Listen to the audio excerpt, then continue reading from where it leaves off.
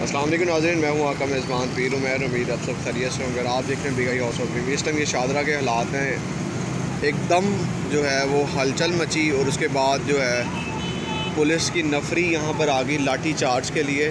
सारी मार्केटें बंद करवा दी हैं। ये इस टाइम आपको अपने अपने अपने चैनल के थ्रू मनाजर दिखा रहा हूँ। ये देखें किस तरह जो है लाठी चार्ज किया जा रहा है और लोगों को भगाया जा रहा है। ये एकदम हड़बड़ मच गई।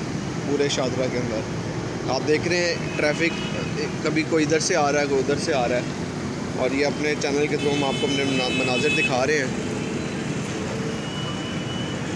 कि जैसे ही ऐलान किया गया इस बात का कि दो माह के लिए रेंजर्स को तलब कर लिया गया लाहौर के अंदर, और ख़ासतौर पर पंजाब में, वैसे ही एकदम हड़बड़ मच गई।